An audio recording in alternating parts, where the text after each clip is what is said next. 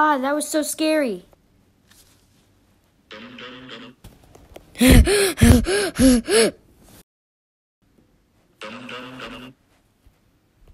I gotta get to my night shift. Huh, I need to check security.